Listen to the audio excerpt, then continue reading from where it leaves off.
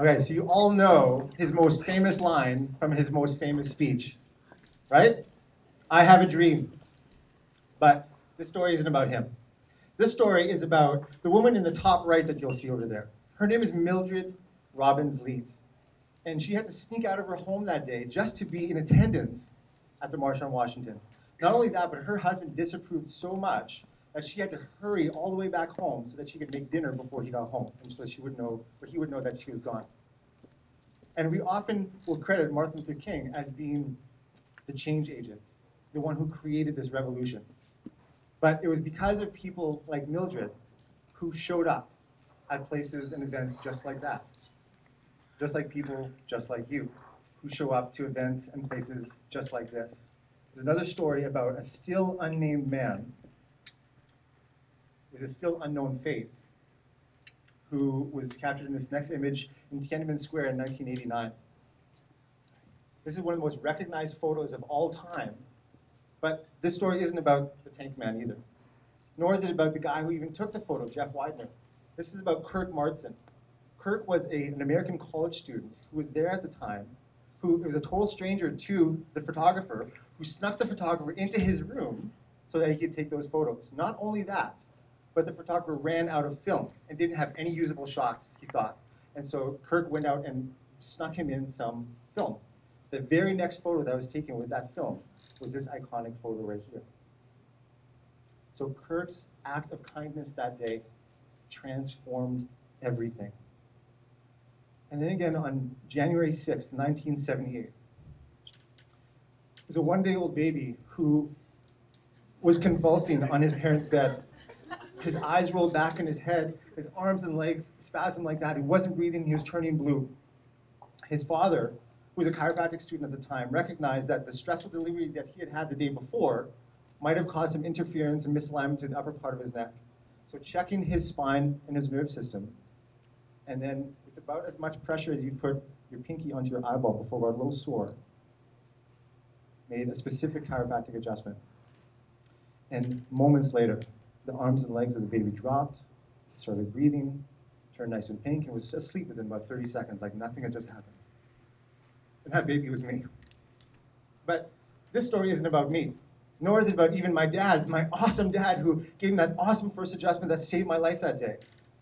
This is about a stranger, a total stranger, this little old lady who told my uncle, the first chiropractor in our family of about now 40 chiropractors, told him about chiropractic. And so the ripple effect of that changed my life years later.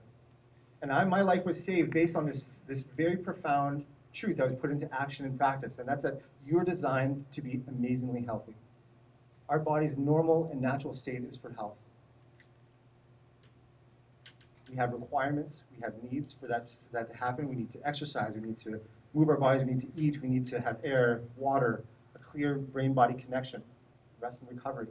Your nerve system is the centerpiece of how your body heals and functions. And that's why we in our office focus on the nerve system, just like in many other chiropractors' offices.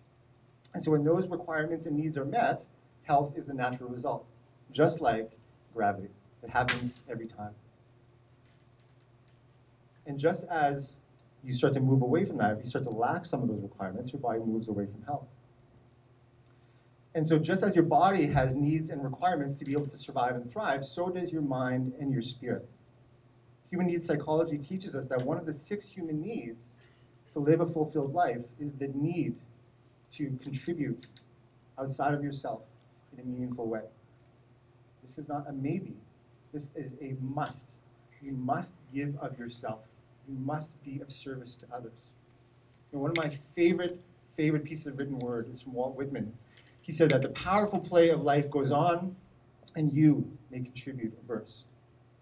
You play a part. Who you are and what you do matters. And it may seem insignificant at times. It may seem like a random act of kindness will make no difference. But you never know how far reaching something that you'll say today or do today will affect the lives of countless people tomorrow. And just places, people just like you showing up at places just like this will transform and echo throughout humanity. Because this story is not really about me. It's not about Martin Luther King or Mildred or my uncle or my dad or whoever. This is about you. because you are the revolution. You have the power to contribute. You have the power to serve. You have the power to love. It's in those small acts. And even sometimes, the act is not giving, but it's receiving. Sometimes the greatest act is asking for help. It's asking for support. It's allowing someone else into your revolution. It's allowing for something greater and something bigger to be created. I have this amazing opportunity and this amazing honor every day to work in my practice that is full of people, and we're growing every day because of people just like you who said, you know what, I want to be healthy. I don't want, I'm sick and tired of being sick and tired. I want to take my health and my life to the next level. And not only that, are they experiencing the miracle and the revolutions within themselves, but they're sharing those revolutions with others. They're bringing people into our community and allowing that to happen.